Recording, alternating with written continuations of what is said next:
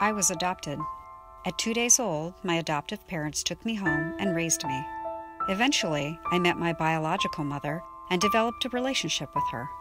At 80 years old, she was thrilled that I would finally write a novel to share stories from her early life and the difficult decision of giving me up for adoption.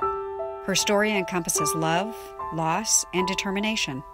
Room for Another is my fictionalized account based on these true events.